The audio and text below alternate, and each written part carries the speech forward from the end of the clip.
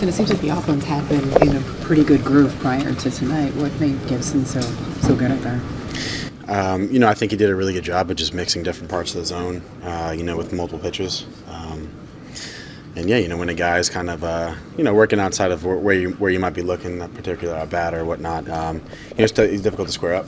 Um, you know, a lot of balls just off the barrel, kind of lofted up there. So you know, listen, he did a really good job. Got to tip your cap at some point, but um, but yeah, you know, um, we're just going to continue to do what we do. And obviously, you mentioned the uh, the momentum, so it's absolutely in there. So you can't can't shy away from from that tonight. So listen, it is uh, it is what it is. Because of the recent success for the offense, is it easier to turn the page on a, on a game like tonight?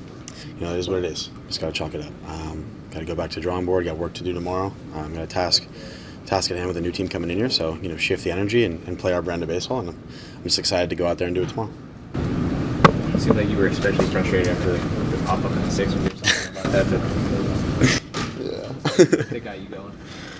Nah, just um, yeah, just another ball off the barrel. You know, I he made a really good pitch, a lot of movement on it. And just uh, like I was saw it super well, and just you know, you know, you, you always want to do, you know, you always want to put good, good at bats for your team, and I thought I was in a position there to um, just you know create some momentum, put something good, and just uh, just missed it. Got a little got a little frustrated as you mentioned, but. Uh, I'll reel it in. Yeah. So uh, you know, again, just just shift the energy and focus for the uh, the next opportunity. You know, the game presents itself. I'm going to do some good for my team.